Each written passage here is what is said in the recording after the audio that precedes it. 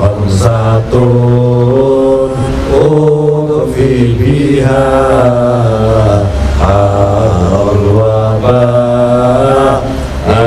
الحاتمة المصطفى والمرتضى. وابنهما وفاطمة. لي